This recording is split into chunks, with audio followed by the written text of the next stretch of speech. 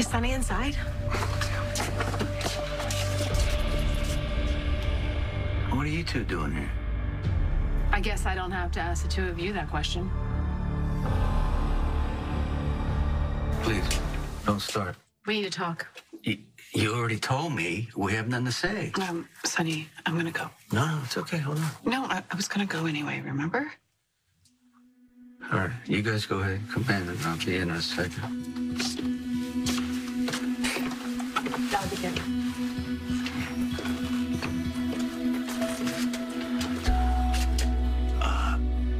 Thanks for last night. Um, I wasn't thinking straight, and you stopped me from making a huge mistake.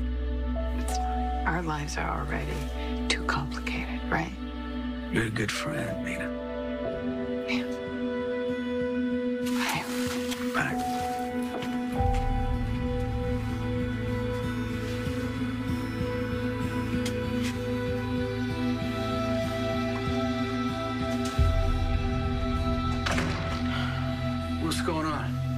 Is this about Donna? It's about Jason. I thought you'd want to know that Maxie is safe and Peter August is dead.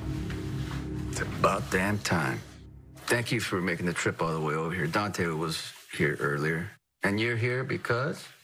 Well, I was in Switzerland. I can give you the details if you want them. Ah, well, I know all I need to know. He died like the dog he was. I can attest to that.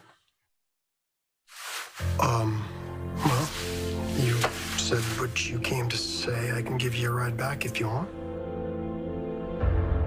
No. Thank you. But I'm not done here. Sonny and I need to get a few things straight.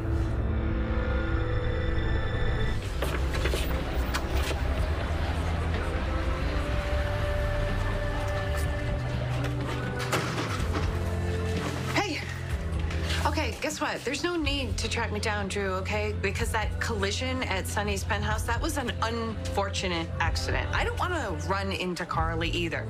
I really try hard to avoid her altogether. So I just came here to get something to eat. Oh. Oh. Okay. I'm sorry. It's um it's just my friend Phyllis. She she manages this place and I just was hoping to talk to her. Okay, well, yeah, no harm done. Um, since I ran into you, I might as well say thank you.